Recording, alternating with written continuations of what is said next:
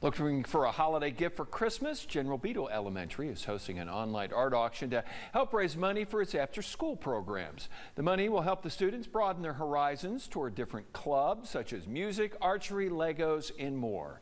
The principal of General Beadle said that the art auction has given students an authentic experience where their talents have valued others.